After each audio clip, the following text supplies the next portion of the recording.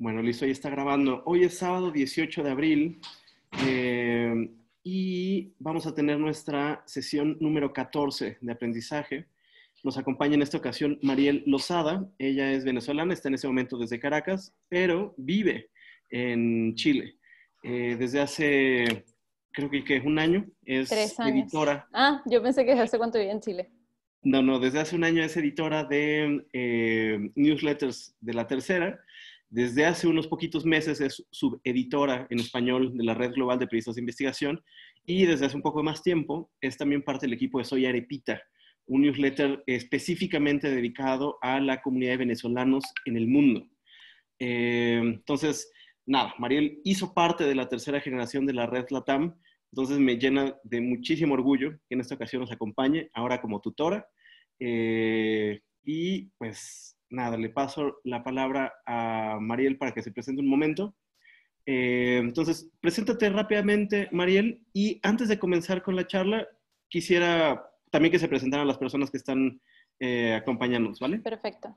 Eh, bueno, como dijo Jordi, eh, trabajo con la tercera en su, en su, departamento digital, específicamente con los newsletters.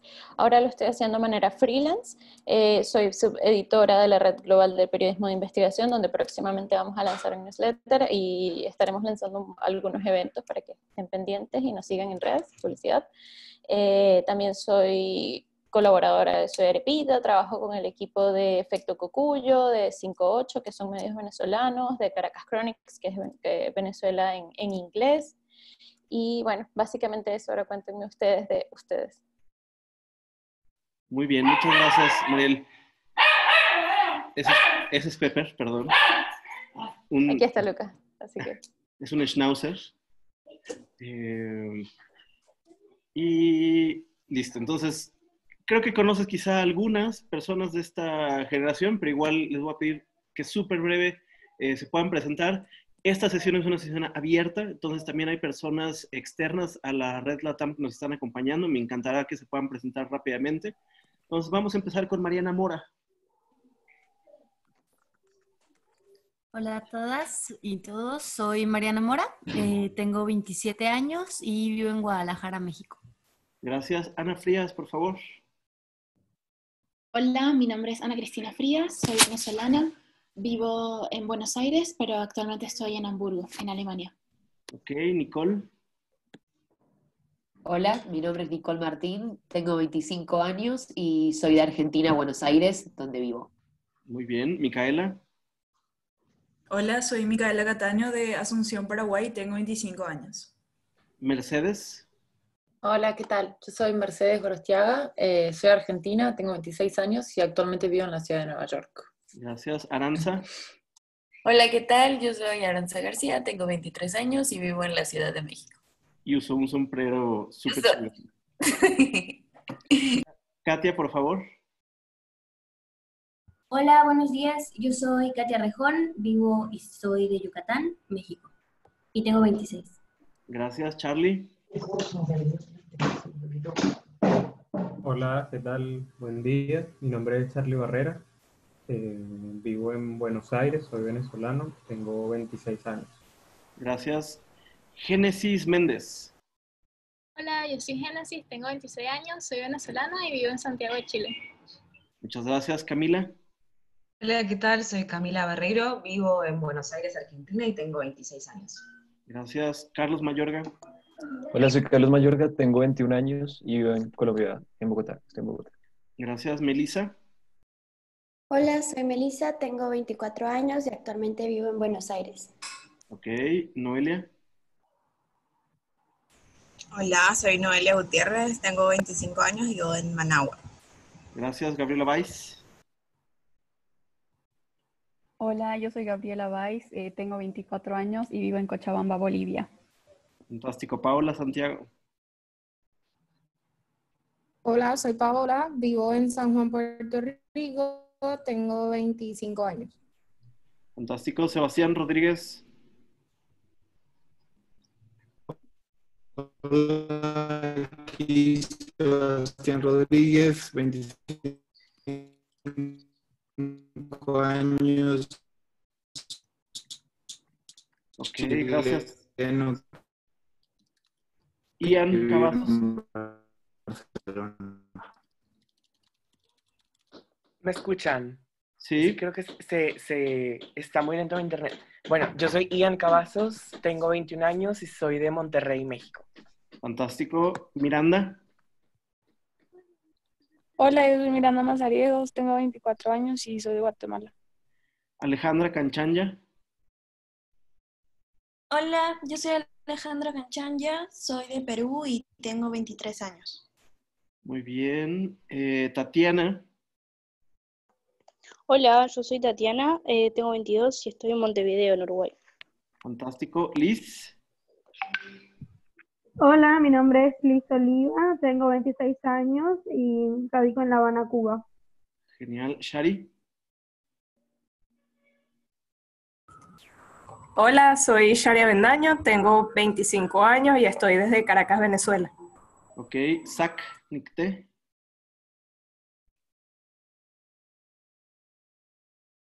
Bueno, si no, vamos con Mariana Sánchez. Hola, soy Mariana Sánchez, tengo 24 años, soy de Brasil. Gracias, Zach. Ahora sí. Sí, ahora sí. Hola, soy Zach, tengo 28 años y estoy en Durango, México. Ok, veo que también está Jessica. Sí, hola. Mi nombre es Jessica Domínguez, tengo 29 años y estoy desde La Habana, Cuba. Genial. Génesis Anangonó. Hola, soy Génesis Anangonó, tengo 22 años y vivo en Quito, Ecuador. Ok, Hernán. Hola, ¿cómo están? Soy Hernán Florindez, soy de Lima, Perú, tengo 24 años. David, Adrián. Hola, ¿qué tal? Eh, David Adrián García, tengo 29 años, de Chihuahua, México. Carmen Victoria. Hola, estoy en Caracas, Venezuela y tengo 26 años. Bueno, eh, a Quetzali ya la conoces, a Florencia Luján ya la conoces, entonces porfa, Beatriz del Castillo, si, se- si te puedes presentar. Hola, ¿qué tal? Soy Beatriz del Castillo, vivo en México y tengo 38 años. Ok, muchas gracias Beatriz. Eh, ¿Quién más es? Eh, M. Pena, M. Pena, creo que es Miranda o Ah, Ma- Mariana. Hola, hola, tengo 24 y vivo en Los Ángeles. Marina. Ah, fantástico, Marina. Muchísimas gracias por sumarte y por acompañarnos. Y falta por acá, ya no la veo. Había una Lorena, no sé si se salió. Ah, bueno, si alguien faltó de presentarse, puede hacerlo en este momento. Cinco, cuatro, tres, dos, listo. Bueno, pues entonces ahora sí, querida Mariel, vamos a empezar con este, esta sesión que está dividida en tres bloques. Como saben, cada, después de cada bloque, eh, más bien, habrá una, una primera presentación de Mariel eh, y tendremos, eh, como siempre, espacios de preguntas y respuestas al final de cada bloque. Ok, Entonces, todos tuyos. empezamos. Qué, qué lindo ver a Shari y a Ian por acá. Eh, a ver, ¿ven mi pantalla bien? Sí. Perfecto, gracias. Eh, modo pantalla completa. La primera parte, eh, bueno, como dijo Jordi, es newsletters periodísticas, pero igual muchas de las cosas que les voy a decir acá sirven para newsletters de todo tipo, ¿no? Eh, este es un ejemplo de un newsletter pop-up que desarrollamos en la tercera eh, para el plebiscito que iba a ser en abril en el mundo antes, de la pandemia. Los tres bloques van a ser qué es un newsletter y por qué tener uno. Este voy a intentar que sea lo más rápido y corto posible porque creo que el qué es un newsletter es un concepto que manejamos y los otros tienen un poco más de contenido, cómo crear un, un newsletter y buenas prácticas y consejos, que es el último y el más largo. ¿Qué es un newsletter y por qué tener uno? Bueno, eh, como sabemos, un- es un mail que llega a tu buzón de entrada, llega porque tú lo pediste. Esto es algo súper importante y en lo que voy a hacer énfasis durante toda la charla.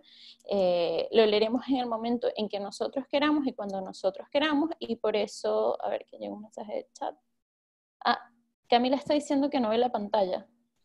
No sé Sí, si... yo estoy viendo en negro tam- también. Si quieres, Entonces- deja de compartir y vuelve a compartir. Exacto. Dale. Eh, deja de compartir. compartir pantalla. ¿Lo ven? Sí, ahora sí.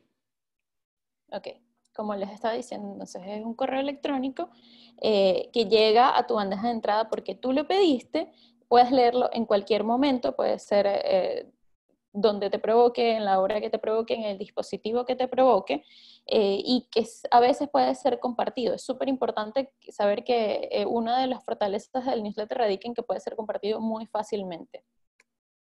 ¿Por qué tener un newsletter? Bueno, porque estamos viviendo, especialmente en el momento de la pandemia, en un mundo lleno de información donde la gente está saturada, está abrumada, está cansada, está agotada de las fake news de, o de la desinformación, de no saber en qué confiar, en qué leer, de, páginas que tienen un montón de, noticias que no son que son más clickbait que noticias reales y que minan la, la, información en los medios. En cambio, en el newsletter tenemos una pieza de información finita que tú mismo jerarquizaste, que tú mismo escogiste, y si tú, hablando desde el lugar del lector, te pusiste, te suscribiste en la lista de envíos del newsletter, pues sabes y confías en el remitente y en que la información que te va a dar es correcta y es real, ¿no? Además, es un canal directo con tu audiencia, impermeable a cambios de algoritmos, es súper importante. Estábamos hablando al inicio de la clase que Facebook, Google y todas estas grandes empresas manejan nuestros datos. Si tú tienes una, un, un newsletter y tienes una base de datos de gente que se suscribió, esa base de datos es tuya al menos que la persona se suscriba, eso no va a cambiar. Tú puedes em, contactarlos directamente y puedes tener como un número de identificación de cada persona a la que contactas a través del newsletter y Facebook no va a hacer nada para cambiar eso. ¿no? Eh, eres el dueño de tus datos, puede ser tu oportunidad de tener una voz propia. Esto es especialmente útil e importante cuando los periodistas son jóvenes y están empezando y, bueno, cuesta abrirse lugar en medios, todos sabemos lo mucho que cuesta. Esto puede servir como para armarte de, darte a conocer en un tema, armar una base de datos, de, por decirlo de alguna manera, de, gente que te conozca, de seguidores en redes sociales que sigan y estén pendientes de tu trabajo, porque simplifique el embudo, cuando estamos hablando como un newsletter de, medios, a embudo me refiero al embudo de ventas, eh, es mucho más fácil que una persona que esté suscrita a tu newsletter y le gusta el contenido que le envíes, próximamente se suscriba a tu medio o, bueno, si te creas un Patreon o, o algo para, para monetizarlo, si ya es una persona con la que has establecido un vínculo, es mucho más fácil que, que esté dispuesta a darte su dinero. Y bueno, lo más importante, por supuesto, es que los lectores están en el correo electrónico y nuestro deber como periodistas en el mundo digital es estar donde están los lectores. Por eso estamos en WhatsApp, estamos en Twitter, estamos en redes sociales, no podemos no estar en algo tan importante como el correo electrónico de las personas. El 90% de la gente revisa su correo electrónico. Hay tres principales tipos de newsletters. Están los newsletters de nicho, los newsletters pop-up y los newsletters de pago. Los newsletters de nicho son básicamente eh, los generalistas que se dedican a una cosa, hablan de autos, de deportes, de noticias, de, lo que sea el newsletter general de un medio que manda todos los días con su información. Los pop-ups son los enviados a un público determinado durante un periodo determinado. Aquí tengo de ejemplo eh, el newsletter pop-up más exitoso que ha existido, que es el de GOT, de, el de Games of Thrones del New York Times el año pasado en la temporada final, que tenía millones de suscriptores, era reenviado a una porcentaje altísimo de la gente. ¿Qué pasa con, con los newsletters pop-up? Es especialmente importante que seamos constantes porque para poder desarrollar un efecto bola de nieve, de, primero de que se sume más gente, porque la gente que lo recibe le gusta el contenido y, y suma y suma y lo reenvía y lo reenvía y se suma más gente y eso pueda terminar en más suscriptores para nuestro medio, que es al, al final lo que buscamos, ¿no? y de pago son newsletters de contenidos exclusivos que son enviados a una lista de suscriptores de pago. Esto puede ser un newsletter entero que sea de pago o hay gente que tiene un newsletter gratuito y la misma versión con más información para suscriptores de pago. Eh, bueno, eso el primer bloque rápidamente, lo pasé así para poder enfocarnos más en el otro. No sé si quieres que siga Jordi o si alguien tiene preguntas de, lo, de la primera parte pues, digamos, abramos, abramos entonces a algunas primeras preguntas, que esto también nos, puedes, nos puede ayudar a determinar cómo eh, vamos a continuar eh, los, los, siguientes bloques, ¿no? Entonces, eh, si puedes dejar de compartir pantalla un momento, Mariel. Listo. Eh, ¿Alguna pregunta inicial, alguna duda inicial sobre newsletters? alguien también importante, si alguien ya ha creado un newsletter o alguien tiene la intención de crear un newsletter, por favor coméntenos un poquito, ¿no?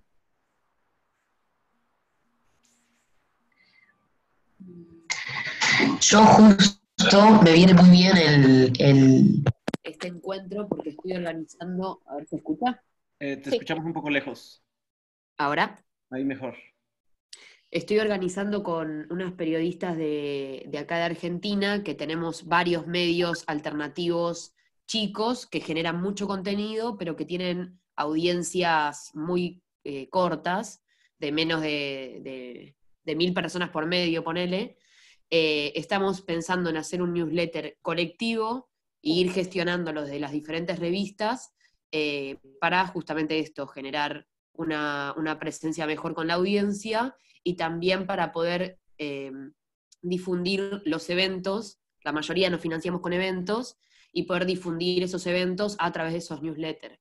Así que estoy tomando mucha nota para, para la próxima reunión. Yo, yo sí tengo una duda, eh, bueno, Beatriz del Castillo de México. Eh, de este newsletter que nos comentan de Games of Thrones, o sea, ¿empezó cuando empezó la serie o era para el No. final de la serie o como que cuál era el objetivo? Fue la última no vi. Fue la última temporada. El New York Times hizo un newsletter de la última temporada. Recuerda que la, la- la audiencia de la serie creció exponencialmente desde la primera temporada hasta la última y en la última ya era un fenómeno mundial. Y bueno, ellos se como que se pegaron a eso para lanzar un newsletter, que es lo que se debe hacer en un newsletter pop-up, pegarte a un evento que está sucediendo y que mantenga la conversación y ocupada y sumarte. Por ejemplo, el New York Times también lo, lo hace cada verano, bueno, supongo que este no, pero cada verano hace un newsletter, eh, ¿qué hacer en verano en Nueva York? Y cada semana va a un barrio distinto. Los newsletters del coronavirus también son newsletters pop-up porque están pegándose a la ola de la pandemia para informar sobre eso. Es, algo que se suma a un evento que está dominando la, eh, la opinión pública. Claro. El Washington Post, por ejemplo, sacó también su, su versión de, de newsletter específicamente de coronavirus y evidentemente es lo que más está consumiendo en este momento la gente. ¿no? O sea, aquellos, aquellas notas de opinión o análisis sobre temas políticos, económicos, sociales, que no están directamente relacionados con, con- con el coronavirus, se está leyendo mucho menos, Claro. pero hicieron este newsletter donde también hay análisis económicos, sociales, políticos, de temas que directamente se vinculan al tema del COVID y lo empaquetaron en un newsletter especial, ¿no? ¿al- ¿Alguien más? Yo, David- yo puedo hacer una pregunta. Eh, había levantado primero David Adrián, entonces vamos primero con David Adrián, y después con Camila, después con Ian. Va, perfecto. Eh, yo quería comentar que yo tengo un, eh, un medio que, bueno, se maneja en cierta forma como un newsletter. Empezó como una lista de distribución en WhatsApp. Este, después lo hemos cambiado a grupos. Ahorita estamos manejando nada más dos porque eh, fue un, digamos, un, un cambio un poco brusco. Estamos ahorita con el canal de Telegram y, y, y dos de WhatsApp. Y estos, lo que hacemos es que enviamos un audio, es un podcast este, muy corto con un resumen de noticias. Y ahora con lo del coronavirus hemos estado enviando actualizaciones diarias también. Entonces, este, digamos que también me interesa mucho conocer este, esta parte del newsletter porque nosotros, digamos que somos básicamente lo mismo, pero en, en- en WhatsApp este, y usando las herramientas que permite WhatsApp, ¿no? Hasta ahora. Ok. Claro, tam- eh, también ahí vale la pena ver dónde está, dónde le interesa más a tu público que estés. Una de las fortalezas del newsletter es que muchos de los seguidores de medios tradicionales eh, usan mail, pero por ejemplo hay medios que sobreviven solo en WhatsApp y, y- y les va muy bien, ¿no? Entonces va- hay que ver como las fortalezas y debilidades de cada, de, de cada plataforma. Camila, ahora sí. Hola, ¿cómo va? Bueno, mi pregunta tiene más que ver, no sé si lo vamos a hablar más adelante, con los medios chicos que quizás no tienen una base de suscriptores tan grande, ¿cómo se genera esa base para que tu material pueda llegar a cada vez más gente, si esa gente nos está notando y suscribiéndose? Eh, no está totalmente tan explícito más adelante, pero sí está otra cosa que se relaciona y donde lo puedo tocar. Ok. Y Ian, Hola, sí. Eh, quizá también lo van a hablar más adelante, pero yo quisiera saber cómo monetizar una newsletter ahora en particular que está lo del COVID, porque ayer de hecho yo estaba en una junta de emprendedurismo, en una charla, y Jordi, ahí estábamos conversando y platicaba que ahora es muy complicado monetizar algo con publicidad por la crisis mundial que, que estamos teniendo. Y también quisiera saber si estas newsletters, por lo general, pueden, son, son, complementarias o pueden ser únicas, es decir, puedes tú lanzar una newsletter sin la necesidad de tener un website. Eh, a la primera, eh, sí, más adelante. Hay tres formas principales de monetizar un newsletter. Eso está hacia el final de la presentación, así que lo dejaré para entonces. Y la segunda, sí, por supuesto, hay muchísimos. Eh, está, bueno, para empezar, Soy Repita es solo un newsletter. No tiene, tiene su sitio web para que te suscribas al newsletter y que se le hacen ciertas actualizaciones. Pero no es que se genera contenido para el sitio web, se genera contenido para el newsletter. Eh, uno de los newsletters, lo, pensando así como en la historia de los newsletters, y This, eh, Rick Dad, eh, fue uno de los más importantes en Estados Unidos, solo newsletter de Scheme, que tiene millones de, de usuarios en sus suscriptores, solo newsletters. O sea, no, eh, no es una limitación el tener el sitio web. Yo tengo un newsletter, no tengo sitio web para, más allá de, de, mi sitio web personal. O sea, no es limitación para nada. Claro, claro. Yo, yo soy muy fan de un newsletter en México que se llama Te lo cuento. Les, les voy a escribir el nombre. Está eh, en, más adelante. Ah, sí, está increíble, sí. Y, y no tienen tampoco un sitio web específico. Entonces, bueno, dicho esto, continuamos. María, por favor.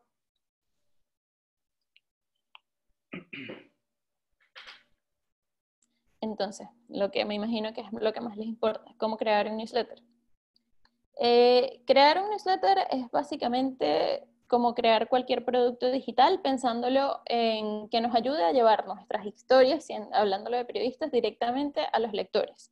Eh, no tienes que pensar que solamente tienes que crear contenido nuevo para el newsletter, también puedes reciclar cosas que ya tengas en tu página web y que sean pertinentes. Lo que sí es importante es que las presentes de una manera distinta. Eh, cuando estás pensando en la creación de tu newsletter, eh, no sé si de nuevo es que no ven la pantalla. Eh, Jessica, preguntas por te lo cuento, está más adelante igual entre los ejemplos, así que el... el yo, yo sí veo bien la pantalla, ¿eh? Ok, ajá. Lo más importante es definir los objetivos, crear un, un, newsletter sin tener claro qué es lo que vas a hacer, por qué lo quieres hacer. Puede ser un error garrafal porque hay muchísimos newsletters también y, y puede que no llegue a ningún lado, ¿no? Entonces tienes que pensar qué es lo que quieres lograr con ese newsletter y qué más existe que se parezca y qué te puede diferenciar de, los que ya existen en el mercado. Para eso, esta tablita que es de Siempre Media de Bran Torres me pareció maravillosa porque una de las principales cosas que tienes que saber para lanzar tu newsletter, como dije, es pensar qué es lo que ya existe, ¿no?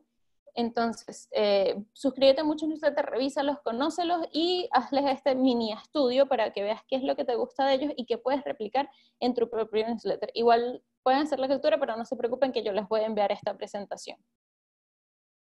Lo segundo es desarrollar tu idea. Cuando, una vez que tengas claro qué es lo que te gusta de los newsletters que ya existen, qué es lo que no te gusta, vamos a pensar qué es lo que quieres para el tuyo. Entonces, ¿cuál es la descripción? Primero, lo más importante es la descripción inicial. ¿Por qué tu newsletter va a tener valor? ¿Qué va a encontrar la gente ahí que no encuentra en tu sitio web? ¿Por qué la gente te va a dar su correo electrónico para que tú llegues a su bandeja de entrada? ¿Cuál es la meta de tu newsletter? No tienes que tener como todo esto súper claro para decir, mira, mi newsletter es importante porque mi newsletter tiene valor porque eh, las métricas. Hay una, un, más adelante explico un poquito de métricas, pero es importante decir que cada newsletter tiene sus métricas propias. Por ejemplo, uh, imagino que si hay un newsletter orientado a una comunidad que es una comunidad limitada, como Arepita, que es de venezolanos en el exterior, eh, va a tener techo, va a encontrar un techo y de ahí no va a poder salir. Entonces no vamos a poder aspirar a crecer por siempre y tenemos que enfocarnos más en otras métricas como la tasa de apertura, cómo funciona el embudo, cómo estamos generando comunidad. Eso cambia de newsletter a newsletter porque cambia de objetivo a objetivo la audiencia. A mí me gusta, a mí personalmente, esta, esta tablita la he hecho yo al paso del tiempo viendo varias y estas son las preguntas que yo considero clave.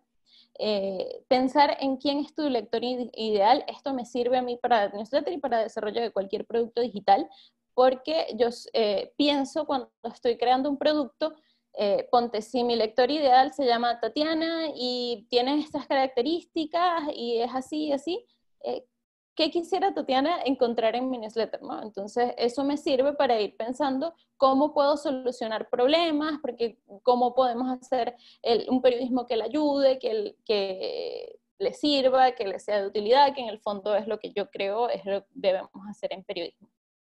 Eh, ¿Cuál será su personalidad? ¿Con, ¿Con, qué tono le hablarás al lector? ¿Qué tipo de contenido compartirás? ¿Cuál va a ser el espíritu, la columna vertebral de tu newsletter?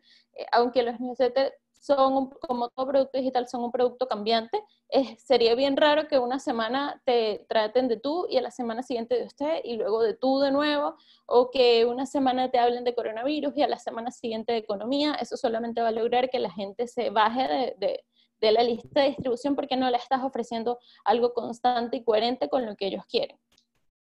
Los detallitos eh, técnicos, cada cuánto lo enviarás, será semanal, mensual, mensual, bimensual, eso depende nada más de ustedes y de lo que quieren lograr con eso. ¿Qué día de la semana saldrá? Hay muchas discusiones sobre cuál día es mejor enviar el newsletter. Hay unos, unos newsletters que son súper claros en qué día puede ser mejor. Por ejemplo, los newsletters que tienen actividades de fin de semana, que salen los jueves o viernes, eh, o los newsletters que son de resumen de la semana anterior, que salen los lunes. De resto, es prueba y error, muchachos. Eh, no hay un día establecido. Ah, nosotros en la tercera tenemos un newsletter los sábados, que le va mejor que a todos los de semana. ahí ya queda claro, ¿no? Eh, y no, no pensábamos que fuera a ser así, cada newsletter con sus características propias, con su audiencia propia, eh, sirve, eh, para eso les sirve mucho, cuando, una vez que tengan el newsletter listo, hacer pruebas A-B y ver a qué hora les funciona mejor, a qué día les funciona mejor, eso como redes sociales, como todo producto digital, repito, cambia de acuerdo al contenido que das y a la gente que esté suscrita. ¿Qué tan largo será? ¿Qué plantilla usarás?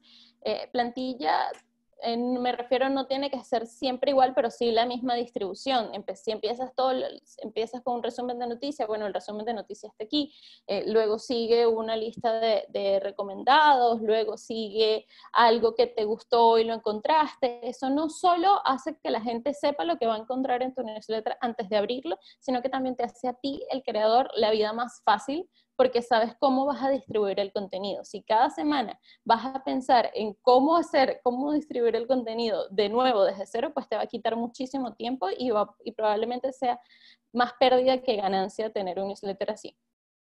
¿Qué miembro del equipo lo redactará? Esto es cuando eh, están en un equipo grande porque no todo el mundo se expresa de la misma manera y no todo el mundo piensa las cosas iguales. Si es un newsletter que es resumen de contenido, pues no es tan complicado. Pero si es un newsletter de autoría que todo el mundo espera un análisis en la entrada, pues es un poco más complicado saber cómo, cómo pasar el tono de una persona a otra. Entonces eso tiene que estar establecido. Incluso si es de un medio, pensar si esa persona no está, ¿quién puede suplirlo? Y eh, darle a esa gente, a esa persona como e, una explicación de cuál es el tono newsletter que participe en el desarrollo y que lo conozca, porque si no, bueno, puede, puede terminar mal y todo el equipo sabe cómo, cómo, será. Yo creo firmemente que todo el equipo tiene que estar involucrado, no en la participación, pero al menos sí que conozcan cómo fue el desarrollo, porque, por ejemplo, puede pasar que eh, la diseñadora no sepa que los newsletters tienen 600 píxeles de ancho y haga algo que se, se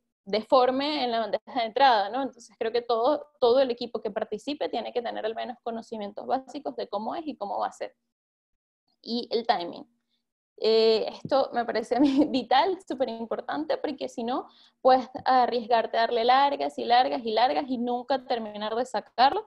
Yo creo que cuando estás empezando a hacer el estudio de mercado, hagas una lista de objetivos por fecha, que obviamente pueden ser variables, lo, lo decías tú, pero eh, tener, tener claro más o menos qué día quieres que salga. Eh, no sé si alguien tiene preguntas hasta acá. La tercera sección es la más larga, así que eh, si alguien quiere participar ahora o sigo, Jordi, dime tú.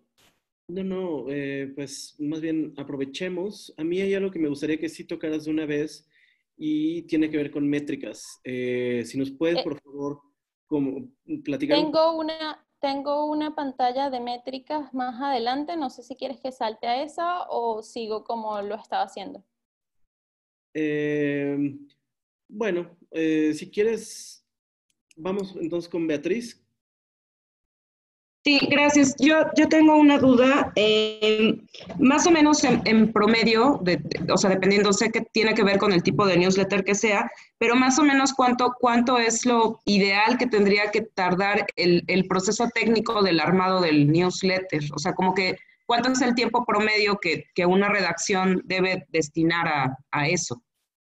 Eh, eh, depende muchísimo porque depende si tienes un diseñador, si tienes un diseñador web que te ayude o si lo estás haciendo tú solo, si es un newsletter de emergencia como, bueno, te pongo un caso, en las protestas de Chile del año pasado, nosotros sacamos un newsletter de fact-checking de las protestas que le fue muy bien, pero lo armamos en una tarde porque eh, estábamos corriendo para poder alcanzar y, empezar a enviarlo frecuentemente, ¿no? Pero hay otros que, el, de, el que mostré al principio del plebiscito, trabajamos mes y medio en él, porque tenía eh, arte propio, tenía su propio diseñador que hacía las gráficas como nosotros las queríamos, tenía una trivia pensada, eso depende de las características de, de, del equipo y del, del producto.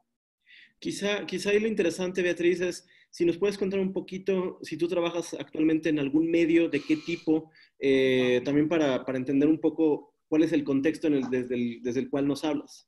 Sí, perdón, creo que no, no lo dije en la presentación. Yo eh, trabajo en lado B. El lado B es un medio que está en Puebla, en México, y pues nosotros estamos próximos a, a, lanzar el proyecto de newsletter.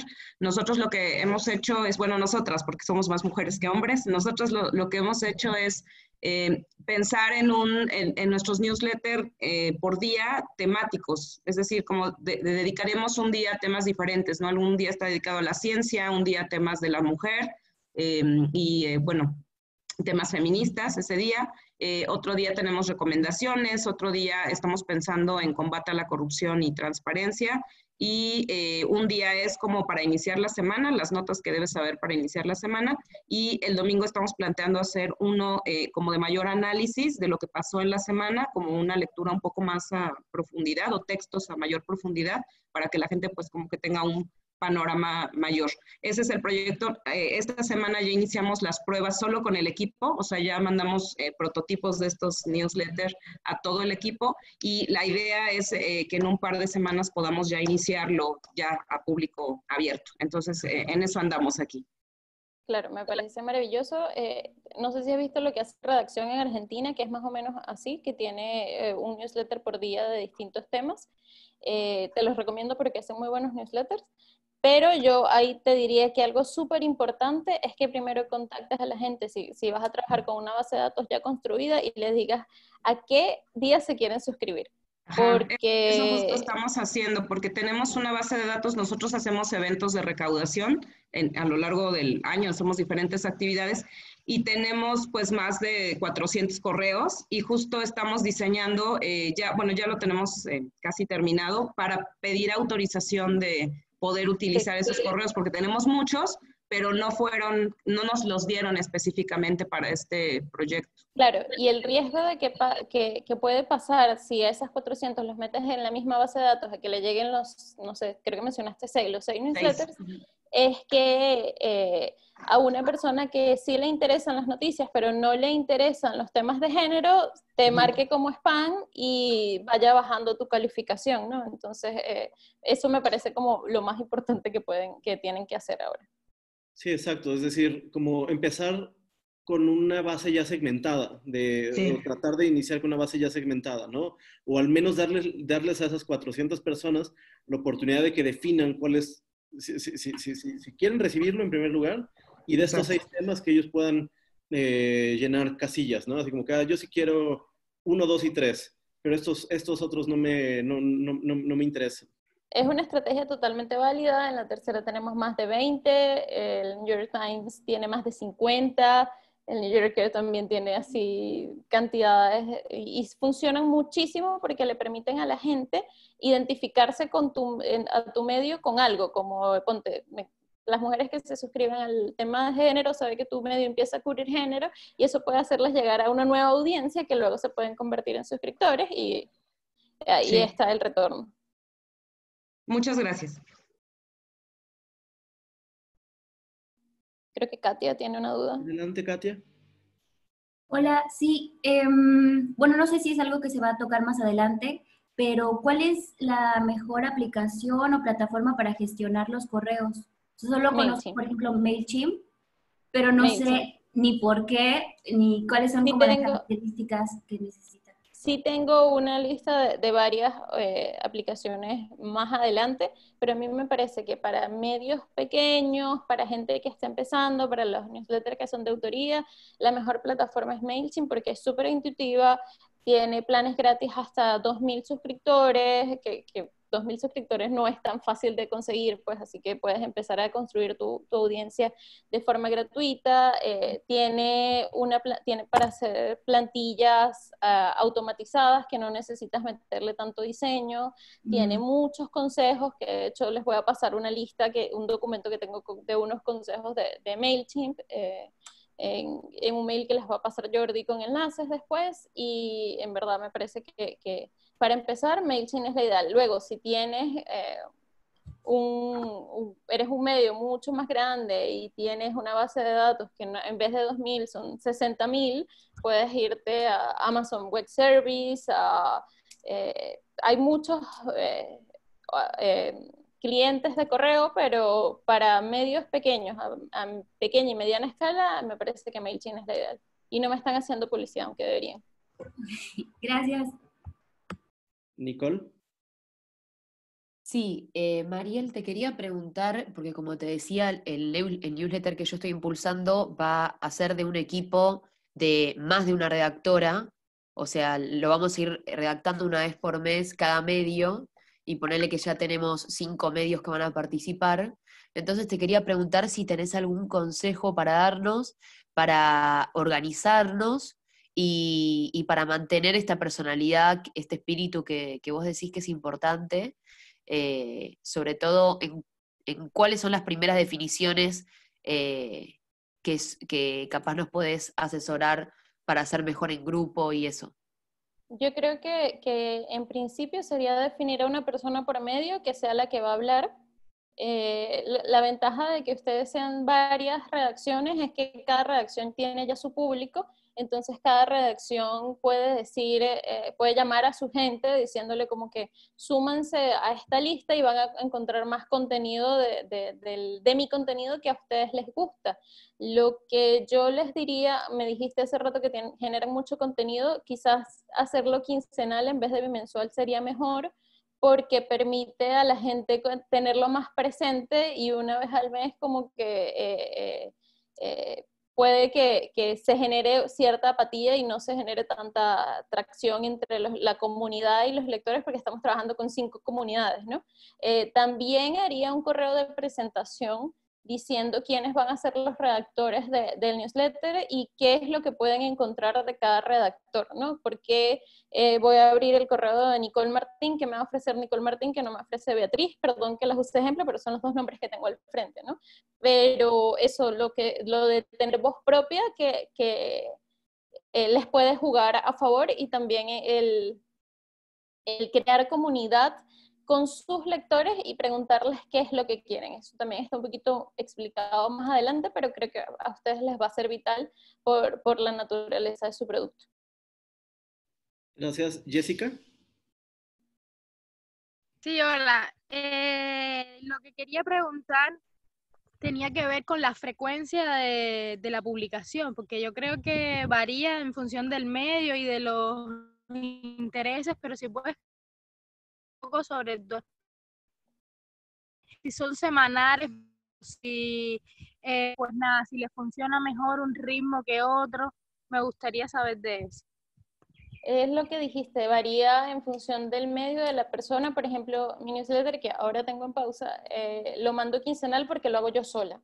Y yo trabajo y yo tengo otras responsabilidades y no puedo comprometerme a uno semanal. Pero en los que son, en los que, gracias Flor, en los que son de, una redacción y quieres dar noticias diarias, pues bueno, el newsletter tiene que llegar todos los días, porque si me mandas el jueves una noticia de lunes no me va a servir de nada y ni siquiera te lo voy a abrir. En los que son de, de un evento que ocurre cada tanto tiempo, pues eh, semanalmente a la par que ocurre el evento, o también puedes variar con la frecuencia del mismo newsletter. Por ejemplo, nosotros, y vuelvo al caso de reconstitución, nosotros habíamos pensado hacerlo semanal. Primero estaba haciendo quincenal y a medida que se acercaba la fecha, semanal. Y cuando ya estuviéramos montados en el plebiscito, diario porque estaba estábamos generando más noticias del plebiscito, ¿no? Entonces, eh, eh, depende de los objetivos, de lo que quieras lograr, de la capacidad de generación de contenido que tengas, de cuánta gente tengas en tu equipo y sobre todo, eh, qué es lo que sientes que está leyendo la gente, porque de nada sirve que mandes un newsletter diario y uno semanal y que todo el mundo abra el semanal y nada te abre el diario. Por eso es importante como estar preguntando constantemente, pidiendo feedback y revisando las cifras. Sí, sí, seguramente ya, digo, ya lo ha mencionado Mariel, seguramente vamos a hablar más de esto eh, más adelante, pero el tema de la constancia es vital. O sea, eh, quizá al principio estamos súper convencidos y convencidas de que vamos a lograr un newsletter cada tres días o cada semana y después nos vamos dando cuenta que por trabajo, por la razón que sea, no lo estamos mandando, eso puede ser mortal para un newsletter. Entonces, eh, seguimos. Seguimos. Déjenme volver a ponerle pantalla completa. Ahí, nada más un segundito, se está presentando Lorena, dice, no pudo intervenir a, través del audio, colabora en la elaboración del newsletter de la Alianza de Medios de Periodistas de a pie en México. Hola Lorena, eh, bienvenida. De lunes a viernes, un newsletter. Eh, ahora estamos en la etapa de crear audiencia y monetizar. Por ahora el boletín es sobre COVID-19. Una pregunta, Lorena. ¿Este boletín sobre COVID-19 ya lo están mandando? Si nos puedes responder ahí por el chat y si nos puedes poner el link para la suscripción, porque me resulta muy curioso que yo sigo a pie de página y a casi todos los medios de la Alianza de Medios y nunca he visto por ahí pasar el, el link para suscribirme al newsletter.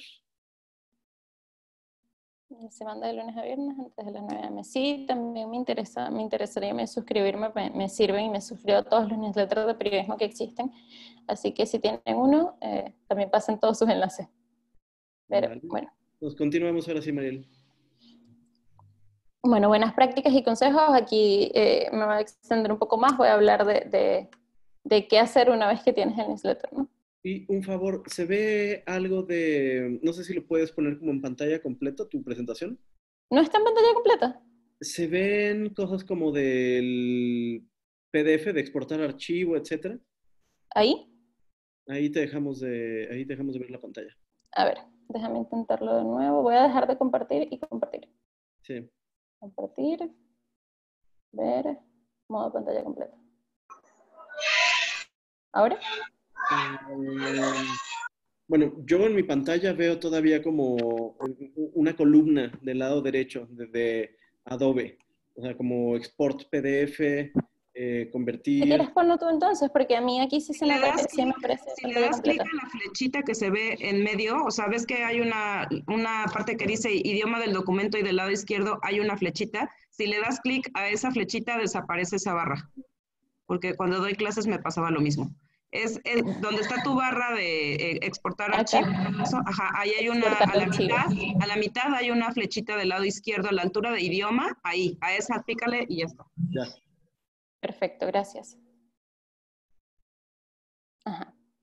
Eh, lo, más importante, lo primero, lo principal, lo, que hay que saber sí o sí, con lo que me gustaría que se vayan, es con que eh, hay que crear contenido útil y de valor para el newsletter y no podemos decir que tenemos un newsletter que va a tener impacto o va a generar algo cuando simplemente tenemos eh, un automatizador de contenido buscando las notas más leídas de la página y enviándoselas a la gente. Eso no va a hacer que la gente se suscriba, eso no va a crear comunidad, no va a dar retorno, nada. O sea, eh, los newsletters volvieron a levantar desde 2016, 2017 para acá, porque uh, alguien en Estados Unidos, empezando por Quartz, por The New Yorker, eh, empezaron a, crear contenido y a crear contenido para el newsletter y a darle un valor a suscribirse al newsletter, porque antes todo el mundo simplemente si le llegaba un correo de un medio se suscribía porque no me estabas dando nada, ¿no? Este, el, el que está acá en la imagen, es el, el newsletter de el diario.es del coronavirus, que me parece maravilloso. Los invito a todos a, que se suscriban porque creo que son los que los... Bueno, ¿no? yo no estoy viendo el... Yo, yo sigo viendo buenas prácticas y consejos. Qué raro esto. ¿Ahí? Ajá, ahí crea contenido útil, ¿no? Eso. Eh, el- lo que les estaba diciendo, el que sale ahí es el del coronavirus del diario.es, que es maravilloso. Eh, están, eh, ¿Por qué es tan bueno? Porque no solo están encargándose de dar las noticias que, que puedes encontrar en cualquier otro medio que sí, pero las están analizando, te están dando opciones para hacer desde la casa, te están dando notas positivas también, que bueno, todos lo necesitamos en este momento, te están cerrando súper claro usando bullets, usando emojis, emojis, todo lo que puedes, a- lo que ha pasado el día anterior con el coronavirus en España, pero también mencionando audiencias de fuera. Eh, si, si están buscando inspiración de newsletter de coronavirus, les recomiendo, les recomiendo muchísimo el de el diario.es. Eh, el newsletter es importante que sea en la medida de, la posible, de lo posible breve. Nadie quiere abrir su celular para leer una Biblia de, de lo que ha hecho tu medio en las últimas semanas.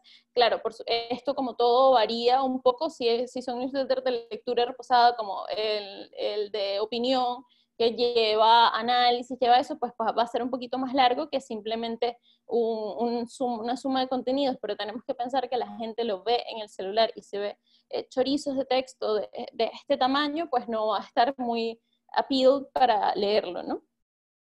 Eh, otra cosa es crear una comunidad que sea realmente una conversación. Eh, el newsletter es maravilloso porque la gente te puede contactar en privado solamente dándole responder. O sea, es una cantidad de cosas lo que la gente te puede decir de ahí. A mí me encanta el cuento de que en Arepita un canadiense nos escribió para decirse que Arepita lo hacía feliz porque eh, su esposa es venezolana y él no entendía nada de Venezuela hasta que se suscribió Soy Arepita, ¿no? Entonces, es raro que una interacción de ese nivel hubiera pasado en, en redes sociales, porque la gente está más observada. En cambio, en un newsletter es, una, una vía de comunicación privada e íntima, al- tan íntima como puede ser al nivel de los medios y, y fácil de, de con- de- de conseguir, ¿no? Entonces, eh, los call to action sirven, el decirle a la gente, dime qué piensas de esto, sirve el crear una sección con recomendados de la audiencia, sirve el que las pre- la, gente te pueda mandar preguntas y tú respondes, sirve muchísimo, sobre todo en algo tan complicado como lo que estamos viviendo con el coronavirus, todo- todas las acciones que sirven para generar eh, comunidad sirven. Eh, yo tengo esta tablita de, de cómo crear comunidad.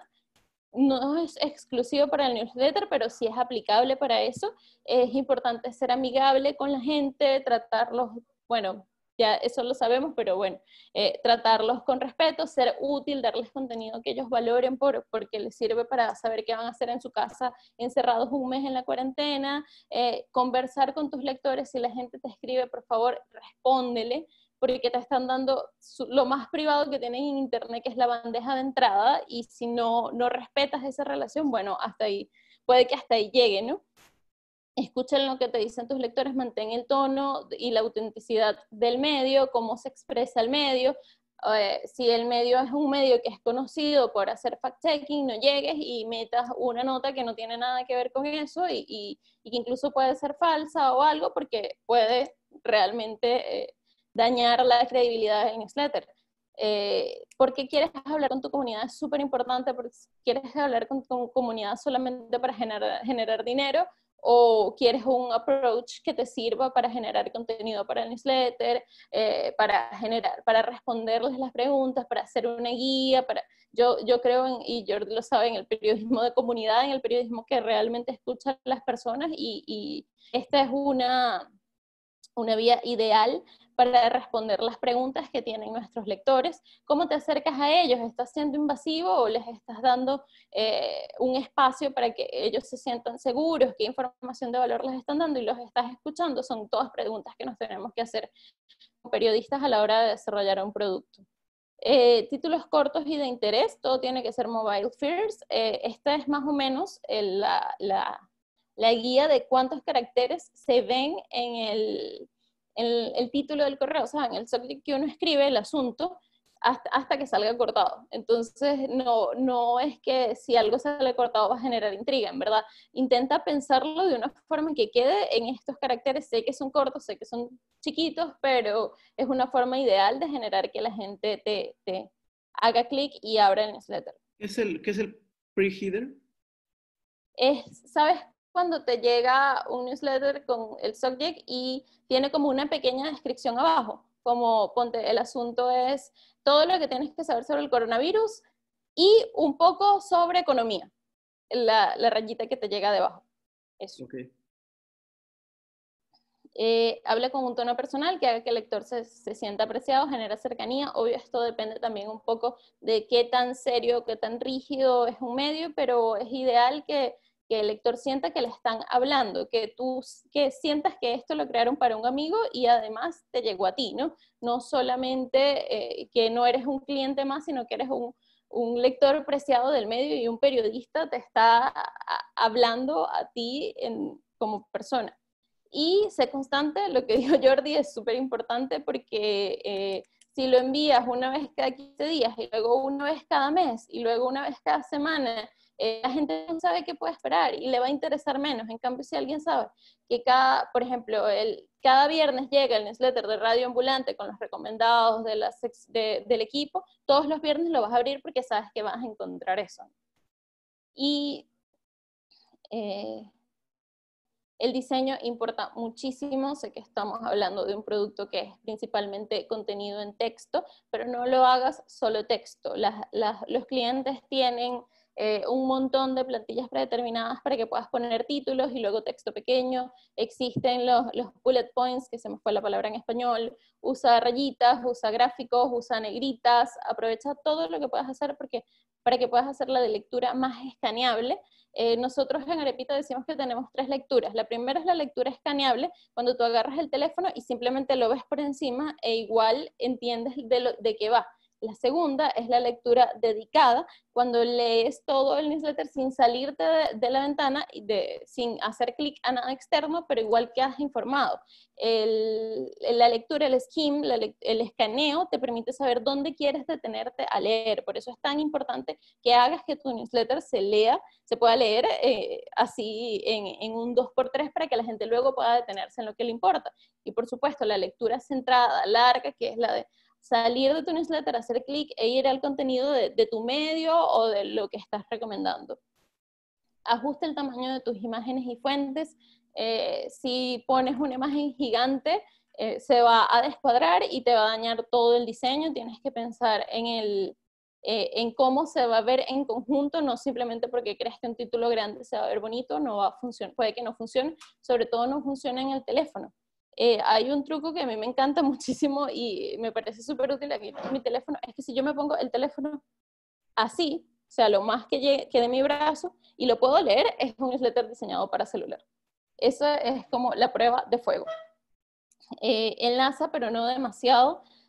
Muéstrale a la gente dónde está la, lo que tiene que hacer clic, es el call to action, pero eh, que sea una línea, que sea lo importante, que sea la imagen, pero no conviertas todo tu newsletter en un link gigante porque tampoco eh, va a generar emociones. No uses de los colores, creo que eso ni siquiera la tengo que explicar. Eh, si abres un newsletter y el fondo es rojo chillón y te deja ciego, no va a ser una lectura cómoda ni fácil. Eh, alinea a la izquierda porque es como estamos acostumbrados a leer. Si tienes un título, puedes alinear todo el centro con perfect, eh, perfectamente, pero no uses más de dos, o sea, no pongas al centro, a la derecha y a la izquierda, sobre todo porque, vuelvo y repito, estamos viéndolos en celular y en un celular se, se descuadra por completo y en vez de salir el diseño tan bonito que tenías pensado que saliera una línea aquí, otra aquí, otra aquí, va a salir todo desordenado y no van a dar ganas de leerlo.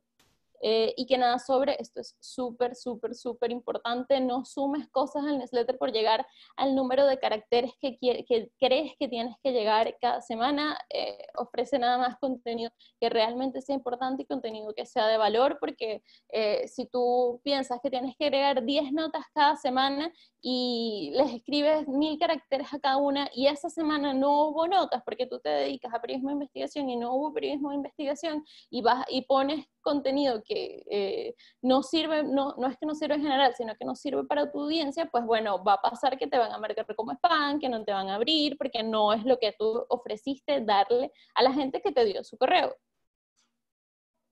Eh, siempre se puede mejorar. Ahí, Una- eh, Mariel, perdón, perdón la interrupción.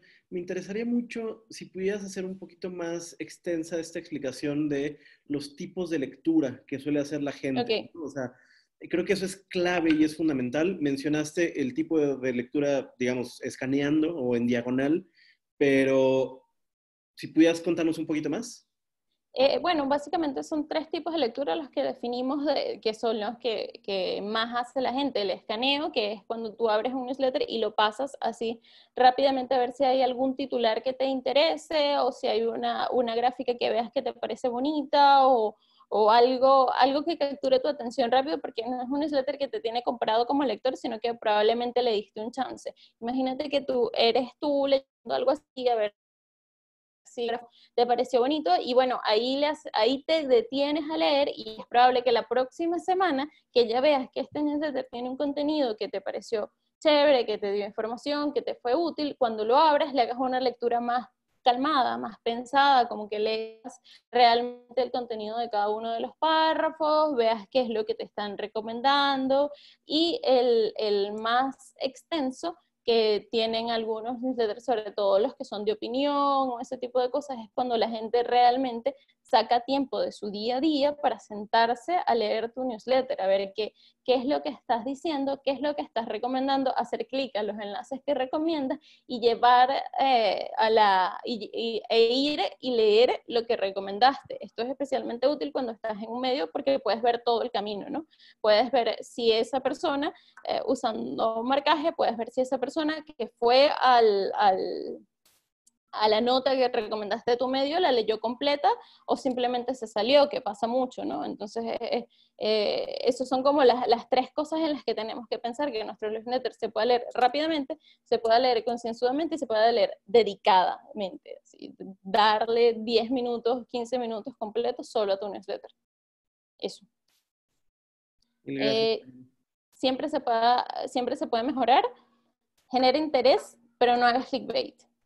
Por nada del mundo mm, digas eh, lo que encontrarás aquí dentro te sorprenderá, porque a mí, a mí personalmente, no sé ustedes, a mí eso me da rabia y más bien no lo abro. O sea, eh, genera interés con tu subject D, eh, conoce las mejores iniciativas de tal cosa y adentro la persona va a encontrar las mejores iniciativas de tal cosa, pero no digas eh, Ricky Martin en poca ropa para que la gente te haga clic. No, eso es lo mismo que, que pasa con las notas, que pasa con los tweets, que al final puede que te funcionen a la larga para generar clic, ah, perdón, a corto plazo para generar clics, pero a la larga van a hacer que tu newsletter pierda credibilidad, como cualquier producto periodístico que hace eso, entonces eh, mejor evitarlo.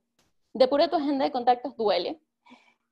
Duele pasar de, de, de no sé, 10.000 suscriptores y, lue- y revisar que solamente 6.000 lo abran, pero es lo que tenemos que hacer primero, porque lo que queremos es una comunidad que esté realmente vinculada a nosotros.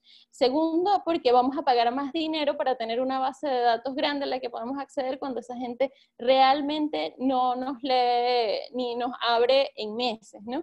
Entonces es más importante que te quieran a que simplemente estén suscritos uh, bastantes personas. Que te quieran pocos a que estén suscritos bastantes personas es, es vital. eh, en- realmente es, es doloroso cuando ves que tu, tu lista baja, porque bueno, tú has trabajado y has construido, pero en verdad se los- les digo que a la larga lo mejor es que es eso. A ver, un chat, ¿cómo tienes estadísticas de cuántos habrán? Más adelante vienen las métricas, Jessica. Eh, y cómo se hace esa depuración y cada cuánto es correcto hacerlo. Depende de, de, cuánto tienes enviando el newsletter y cuánto, cuán- cómo sea. Por ejemplo, en Arepita la hacemos dos veces al año. Y si son, es personas que no nos han abierto en cuatro meses, chao. En tres meses, chao. Porque no es, eh, es un newsletter que es básicamente diario y no una persona que no te abre en 12 semanas no va a volver de, de de la noche a la mañana a abrirte, ¿no? Y como te dije, eso nos está costando plata, hay que pensarlo así, enviarlo a alguien que no abra es algo que nos está costando plata. ¿Cómo se hace esa depuración? Bueno, eh, al menos en MailChimp tú puedes ver, eh, le pone cinco estrellas a cada suscriptor.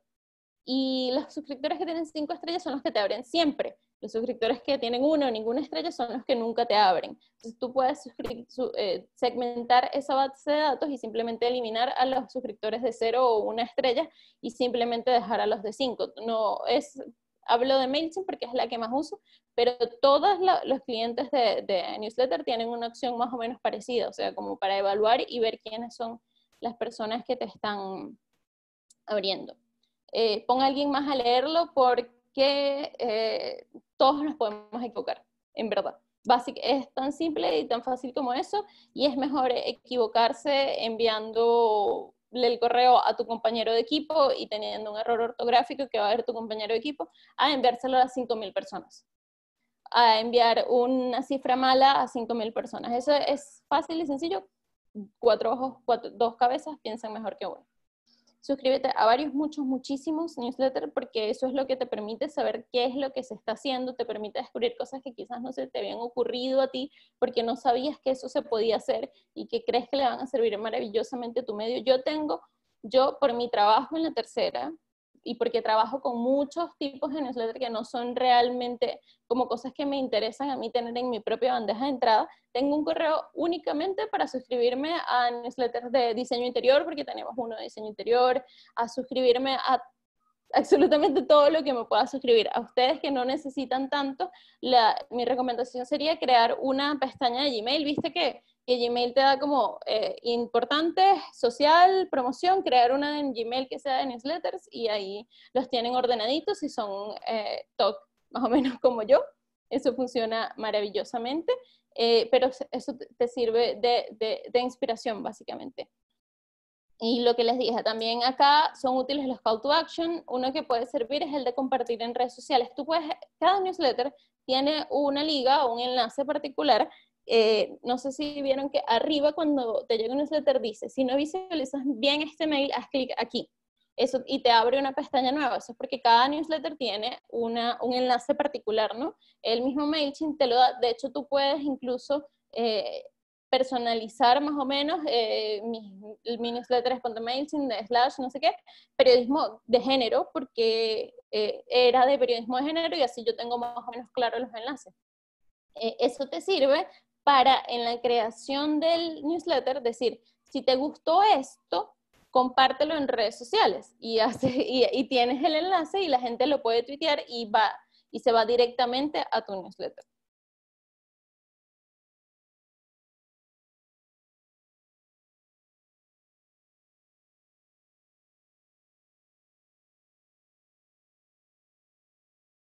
¿Siguen ahí? Sí, yo sí, se me paró todo. Sí, a mí también. Sí, a mí también. Ah, Mariel, ¿sigues ahí? Aquí también estamos. Hola. Listo. Como que te perdimos unos momentitos. ¿Hasta dónde me escucharon? justo en la última parte, creo que antes de que cambiaras de diapositiva. Aquí hablé del call to action de, poner el enlace. Okay.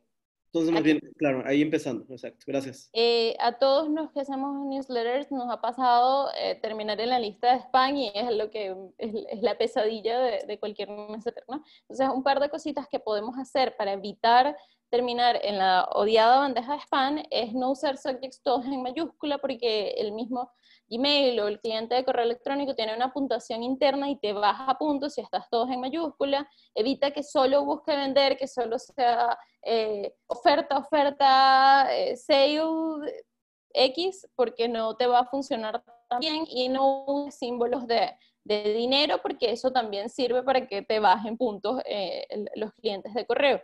No envíes un newsletter que sea solo una imagen antes, y les debe haber llegado un montón de veces, que son eh, esto que es casi que una, una imagen y ya. ¿Qué pasa con eso?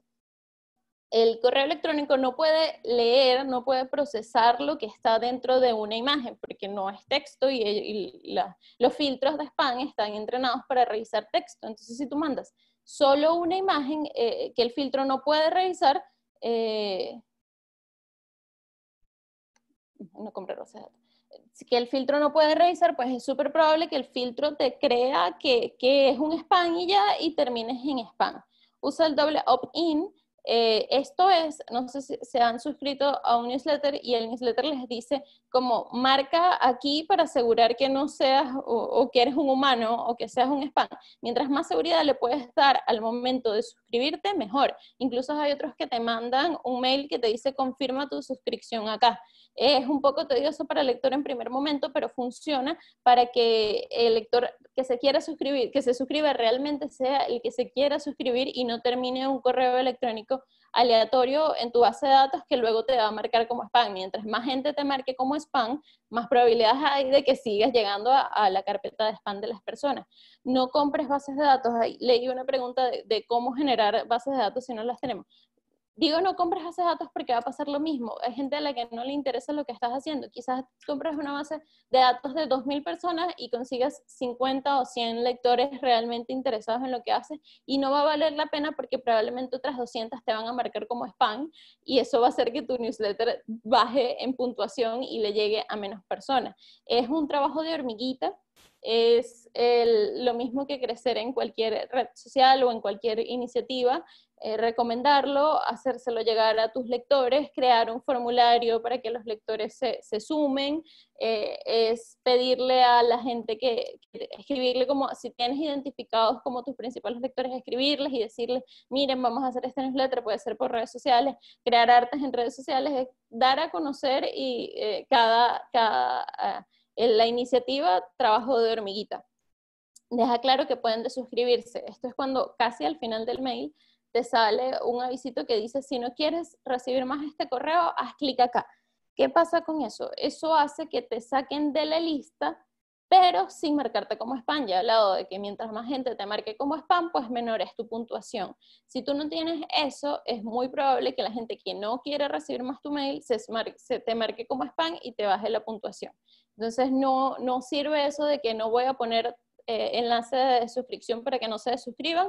Es, un, como decimos en Venezuela, un tiro por la culata. Eh, evita los acortadores de URL.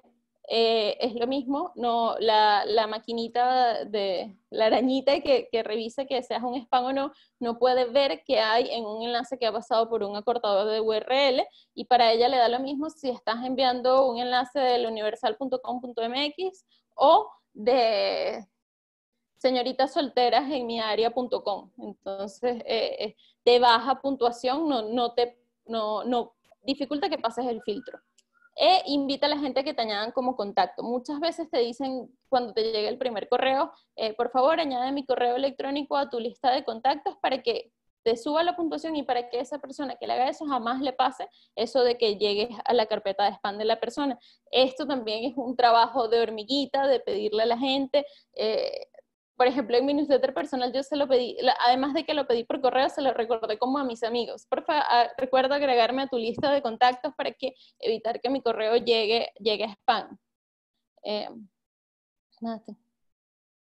eh, Gmail.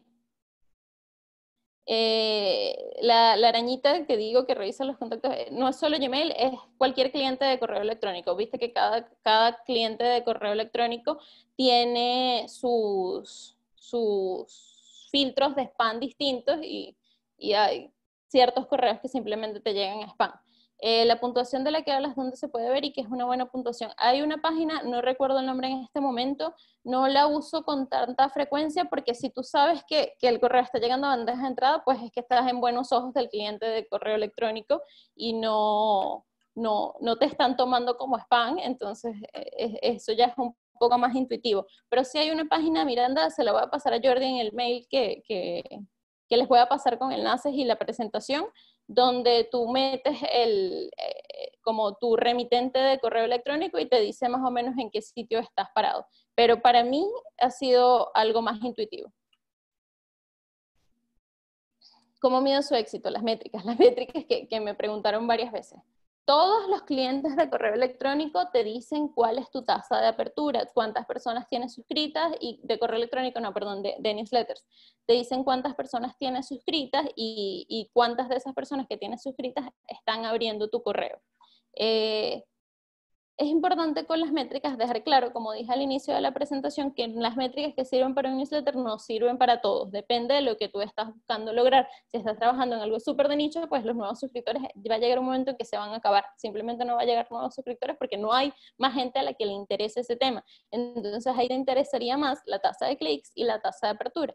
La tasa de clics son cuántas, cuántas cuántas veces ese clic a un enlace por cada mil o cien aperturas tú, la, calculas y el mismo eh, cliente te las calcula. Eh, quizás estás buscando, si lo que estás buscando es generar tracción a tu medio, pues tienes que buscar que los enlaces los presentes de una forma más atractiva para que más gente haga clic. La tasa de apertura eh, pues bueno, por supuesto significa cuánta de la gente que tiene suscrita es realmente importante para, para, tu newsletter, cuánta gente lo abre, cuánta gente lo lee. La tasa de apertura móvil no es como eh, de, las, de los indicadores más tradicionales, pero a mí me gusta medirlo porque significa, si tienes una tasa de apertura alta, pero de esa tasa de, de apertura son pocas las personas que lo abren desde el móvil, puede significar que estás haciendo un mal trabajo en pensar para celular entonces la gente lo lee en la computadora porque estás haciendo algo que no se lee cómodamente en celular. Como, dije varias veces, es importante que se lea en celular, entonces es, una tasa que a mí me parece súper interesante calcular.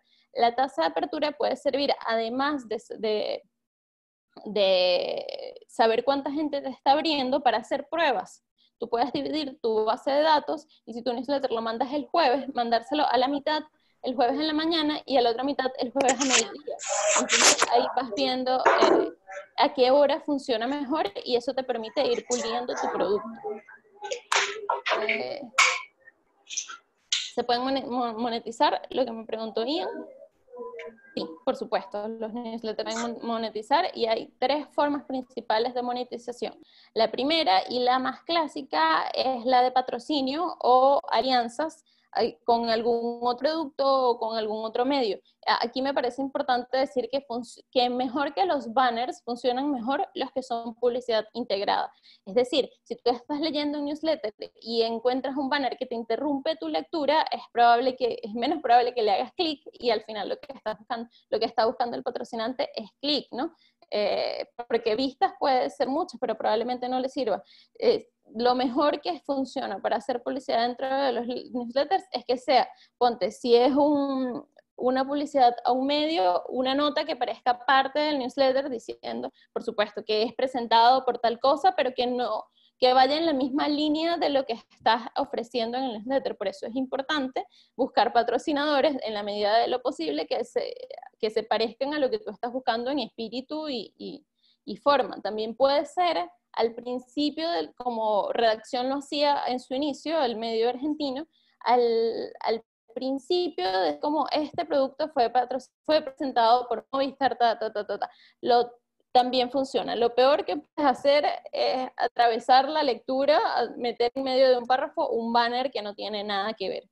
Eso no, eh, le, quita parte del espíritu de importancia al newsletter embudo para suscriptores. Este es un producto, esta es una forma más a largo plazo, es decir, eh, si haces un newsletter bueno, eh, que puede ser un newsletter pop-up y atraes más audiencia ese newsletter, el newsletter se va a la larga compartir, eh, que, convirtiendo en algo que hace que más gente se suscriba a tu medio y de esa forma atrae más dinero a tu medio, no, es, como dije, es más a largo plazo y, y puedes medirlo poniendo un enlace a, tu página de suscriptores con un marcaje, no sé si, si, si conocen lo que es el marcaje de, de, links, pero en las estadísticas de su medio pueden ver cuántas personas llegaron a la página de suscriptores desde el newsletter, ¿no? Y otra forma de hacer un, que un newsletter genere dinero es haciéndolo un producto exclusivo. Eh, o, como dije hace rato, que haya una versión premium del producto. Esto creo que en Latinoamérica el caso de mayor éxito lo tiene un newsletter político de Brasil, se llama Poder 360, que tiene una versión paga que no es barata y además tiene como miles de suscriptores. Es una muestra de que sí, de que Nosotros en Arepita también tenemos como producto, aparte que le lleguen solo a los Patreons y a la gente, es importante que si tienes un producto exclusivo para suscriptores, estés pendiente también de los suscriptores que están pagando por tu producto, que cada tanto les hagas una, una investigación de usuarios y midas cuál es su nivel de satisfacción, les mandes una encuesta y piensas cómo puedes mejorar. Esto es útil en absolutamente todos los newsletters. Ahora pienso que debía agregarlo a la, a la, presentación, así que lo voy a explicar un poquito. Pero sobre todo cuando estás haciendo un producto exclusivo, de que, la gente te está dando su dinero, ¿no?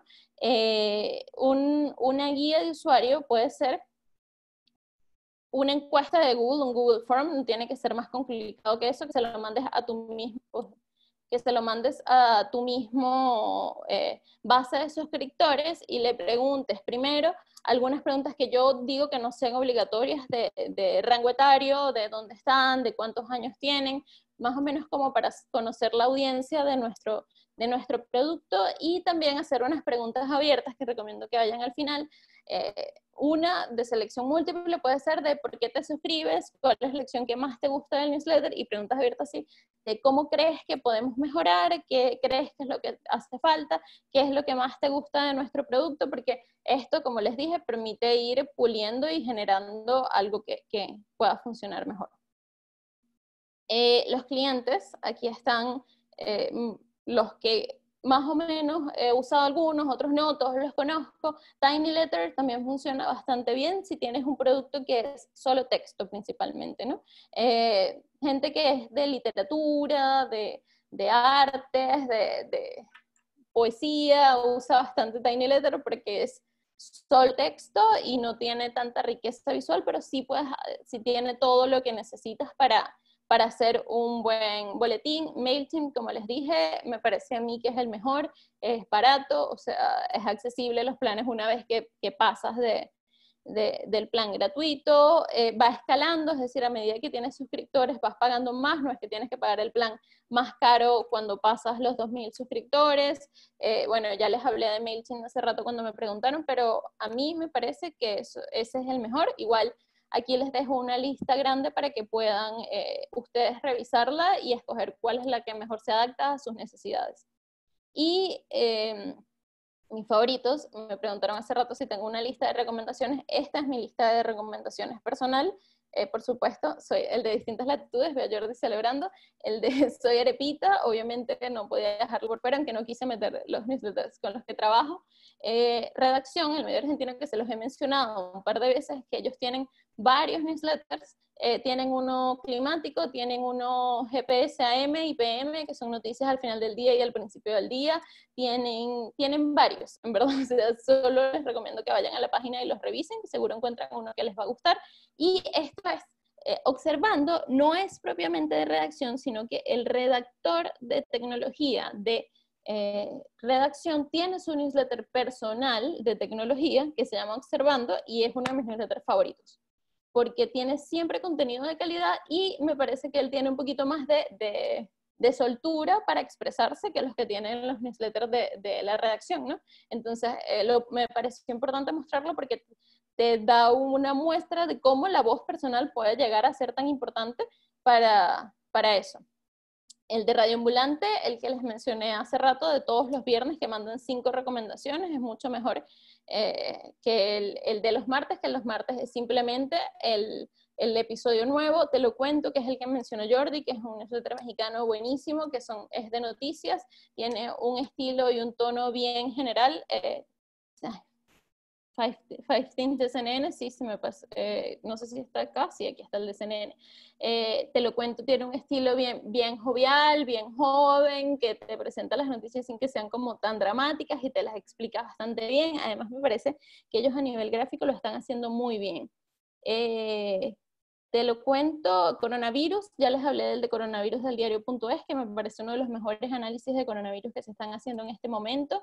El de cinco cosas de CNN, ese te muestra, o sea, cuán simple un newsletter puede ser para funcionar. Cinco cosas de CNN, en verdad, son cinco noticias. Cinco noticias separadas en cinco bullets y cada, o sea, como en cinco pedacitos, cinco párrafos cada una, y cada una está explicada en cuatro o cinco líneas y ya, eso es absolutamente todo lo que, lo que tienen. Tiene unas cositas al final, como para el último sorbo de café, cosas así, pero fíjense lo simple de esta idea y lo bien que funciona. La matriosca del país es como la sección de género del país y eh, me parece que funciona súper bien porque empieza con un análisis de una persona, uy, me fui, eh, empieza con un análisis de una persona que te presenta el tema que está, del que van a hablar en esta, en esta edición y te dice eh, lecturas recomendadas que rescata de la sección de género del país que son viejas, pero que igual son pertinentes a lo que están enviando, entonces eh, sirve como un filtro de autoría. Es importante decir que puedes simplemente hacer un newsletter de cosas chéveres que encontré en internet, como es observando, como es el mío, pero eh, tienes que tener claro que eh, tienes que pulirlo y tener el mismo filtro y presentarlo más o menos de la misma manera. Eh, Bonita Semana es otro mexicano, no, tiene, no, no es nada de periodismo duro, es más bien cosas para empezar mejor y de mejor humor la semana. es muy bonito gráficamente también. de Lily del Washington Post es la sección de género del Washington Post. Lo que más me gusta del newsletter de The Lily es que ellos involucran mucho a, la gente, hacen muchos contenidos generados por el usuario y no solamente por los lectores de, de Lily, sino que, por ejemplo, recuerdo que hace el año pasado hicieron un, una sección especial que era cómo van a la escuela cinco niñas de cinco países distintos, ¿no? Entonces buscaron entre los, países donde más lo leían, buscaron cinco niñas y, tú veías cómo iba a la, niña, a la escuela una niña de un pueblo de Estados Unidos, una niña de una favela en Brasil, entonces eso me parece como súper chévere y también le quita presión al desarrollador del newsletter porque tienes contenido generado por el usuario que tú solamente te encargas de filtrar y pulir. El Quartz Daily Obsession, Quartz lo está haciendo muy bien con los newsletters, pero el Daily Obsession, a mí me parece maravilloso, está en inglés. Eh, es un newsletter que llega todos los días a las 5 de la tarde para explicarte una cosa, pero solo una cosa. O sea, eh, hay uno de las cotufas, cabritas, palomitas de maíz, de, por ejemplo, es el primer ejemplo que me llega a la mente, te explican cómo llegaron a Estados Unidos, desde qué año se consumen, en qué año empezaron a venderse en, los, cines, en los teatros, eh, cuántas se consumen al año en Estados Unidos, te hacen una pequeña trivia a ver de, si entendiste realmente las cosas, entonces es como todos los días una curiosidad. Este también lo pongo como ejemplo porque es, es un medio fuerte de periodismo duro eh, y tiene este newsletter que le va súper bien, que simplemente es curiosidades. Sibio, del equipo eh, de Sibio en España, me parece, lo agregué porque me parece que están haciendo algo muy chévere generando comunidad ahorita dentro del coronavirus. Por ejemplo, el último newsletter de Sibio que recibí era explicando cómo estaban haciendo ellos el, medio dentro de la pandemia, ¿no? Entonces tenía fotos de, las reuniones de Zoom de la redacción, eh, eso te permite darle como un sentido de pertenencia a la gente con el medio que están leyendo. Y cómo funcionan las cosas, que es otro argentino que también es como, eh, hoy voy a explicar cómo funcionan los bostezos. Entonces eh, quise mezclar entre periodismo duro y cosas que no, para que vean la, gran, el gran rango de cosas que se pueden hacer dentro de los newsletters. Y te envía 5.000 caracteres de cómo funcionan los bostezos y quizás nunca en la vida se te ocurrió googlear cómo funcionaban los bostezos, pero él sí y explicártelo en un newsletter, ¿no? Él, de hecho, eh, también es un caso de éxito porque él vive de enviar su newsletter y de grabar su podcast. Entonces, eh, eh, es importante lo que se puede llegar a hacer. Y esta presentación es la portada de suscripción de mi newsletter, que a pesar de que les dije que tienen que ser constantes, está en pausa, pero bueno, eh, estamos en una pandemia y yo quedé parada lejos de mi casa. Este es mi correo, mi página web y mi handle de Twitter. Les voy a responder si tienen alguna duda, alguna pregunta, además de ahora en la presentación, por supuesto, eh, si me contactan, con todo el gusto del mundo. Eso yo Fantástico, Mariel, muchísimas gracias. Eh, claramente esta, este fue el bloque más cargado de información y de, bueno, de muchos buenos consejos, de do's and don'ts. Entonces, seguramente aquí va a haber eh, mucha más carnita para comentar y para debatir. Vi que había preguntas en el chat que fuiste tratando de responder eh, conforme iban saliendo, pero porfa, si alguien tiene preguntas, vaya poniendo en el chat de eh, Zoom o levanten la mano. compartir pantalla para que eh, sigamos la conversación. Creo que a Chari se le prendió el micrófono. Sí. Eh, chicos, chicas, ¿alguien tiene preguntas? Eh, adelante, Miranda. Si, si puedes mejor poner tu micrófono para, para, para conversar, estaría mejor. Ah, va. Em, yo tengo una pregunta como más personal porque comentaste que trabajabas como freelance, haciendo freelance para los newsletters. ¿Eso fue algo que tú propusiste directamente a los medios o conseguiste el trabajo porque lo habían, eh, porque lo estaban buscando ellos? O sea, ¿cómo, cómo entras a trabajar freelance a los newsletters? Eh, tengo dos ejemplos, o sea, dos- de, de la tercera, por ejemplo, fue bien de carambola. Eh, yo tengo mi newsletter ya desde hace más o menos un año y el editor de digital se suscribió, le gustó lo que hacía, me contactó a través de mi newsletter, eh, me llamó por teléfono, me invitó a charlar, nos tomamos un café y después me ofreció trabajo. Así que eh, soy ejemplo viviente de lo que puede ser- servir a exponerse y, mostrar lo, que sabes hacer, ¿no? Y, lo importante que es eh, los newsletters para mostrarte como, no sé si experto, pero como voz autorizada en algo. Mi newsletter es de periodismo, de cómo hacer mejor periodismo y va cambiando por temas y por, y por cosas. Y bueno, a él le pareció que mi perfil, dado lo que yo hacía ahí, era interesante y me llamó. Así pasó con ese. Eh, una vez que ya yo estaba trabajando en la tercera, que ya yo, ya yo esta charla la di eh, en versión presencial en México con distintas latitudes, como que ya, ya tengo más nombre con esto. Y yo, yo trabajé en la redacción de Cucuyo hace años, fue casi que el equipo fundador, el medio venezolano, donde también les colaboro con los newsletters los sábados. Y cuando quedé acá y me estaban buscando, me, me llamaron a colaborar, pues me decían, tú sabes hacer newsletter, súmete también al equipo, o sea, a hacer nuestro newsletter personalizado, que es el newsletter que sale los domingos. Entonces es, eh, ha sido como una sucesión de cosas que no precisamente estaba buscando, pero se han dado así.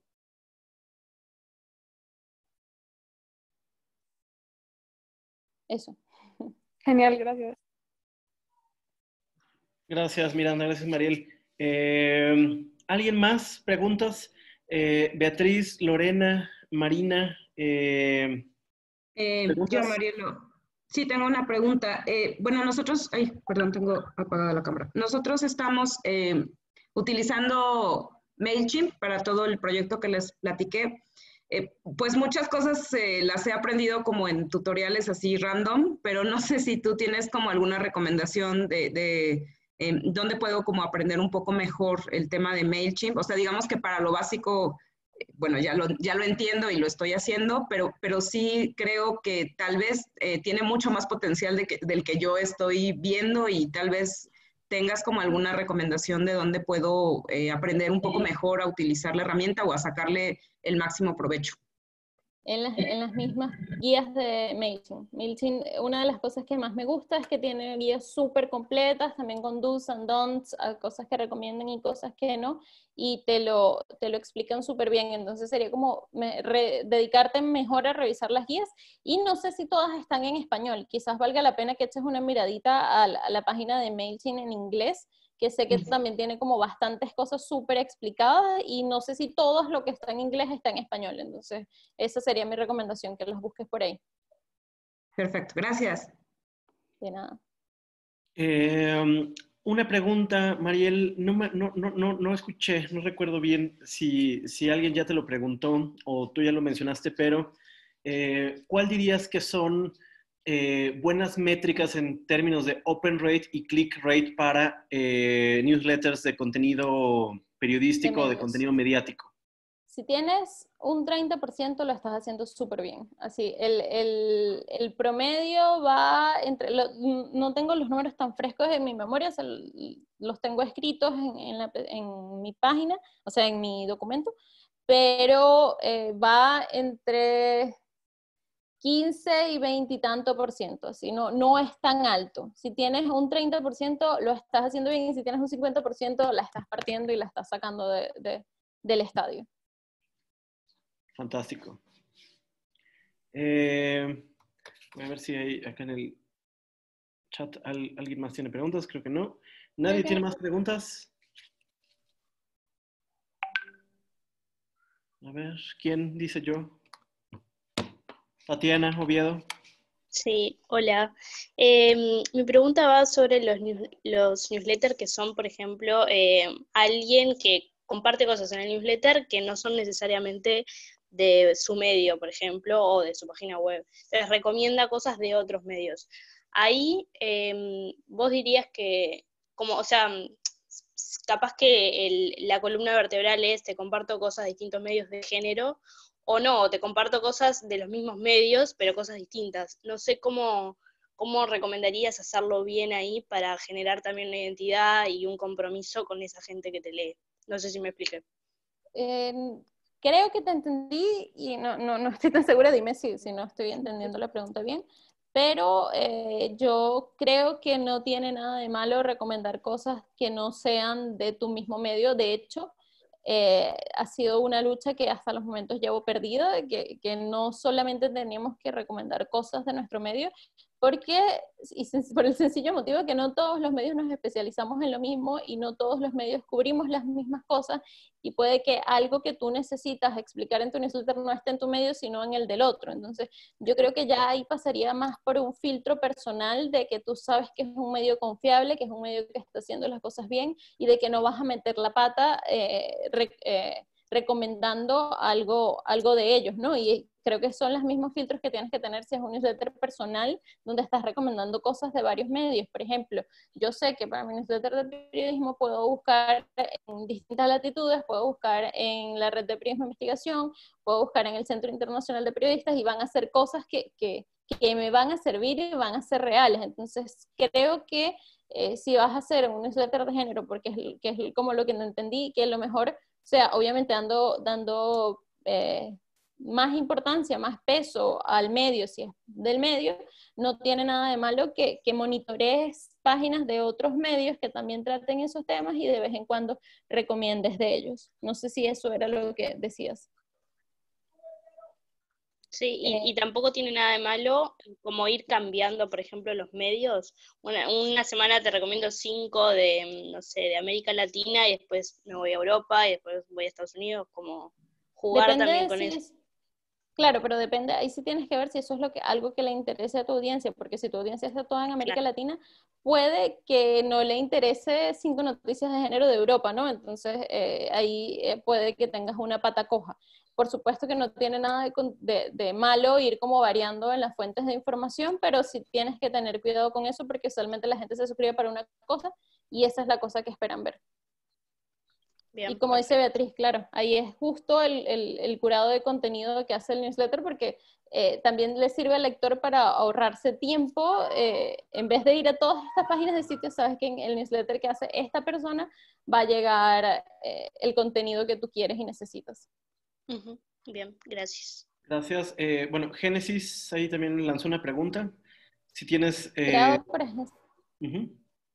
Eh, no estoy segura de, de uno que esté creado por agencias de publicidad porque no tengo, como que no, no es algo que, que a lo que me voy tanto, pero se me ocurre eh, el de la Fundación Luca de Tena, que es una fundación española de periodismo, un laboratorio de periodismo, ellos tienen su newsletter y su newsletter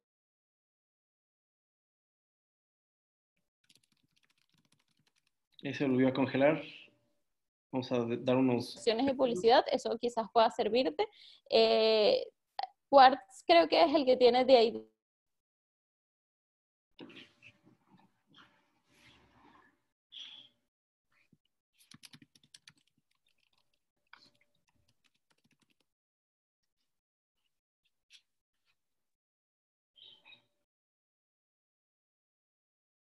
Ustedes siguen ahí, ¿verdad?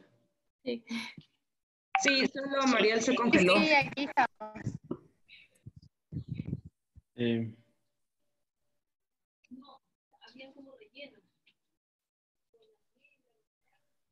am,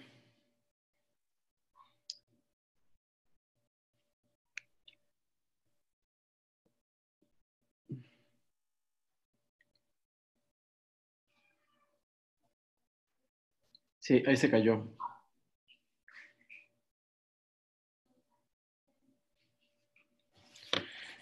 Bueno, voy a poner en... Te los envié antes porque me parecía que, eran mejor si ya los ex- explicaba algunos conceptos acá. Entonces, eh, en, termino acá, te los mando y mandas el correo completo con la presentación y, lo- y algunos enlaces de interés. Fantástico, fantástico. Muy bien. Entonces, eh, una probadita, nada más. Esta, es- es- esta charla, evidentemente, hay muchas cosas más alrededor de los newsletters. Eh, quiero que hablemos, Mariel, a ver si hacemos más cosas.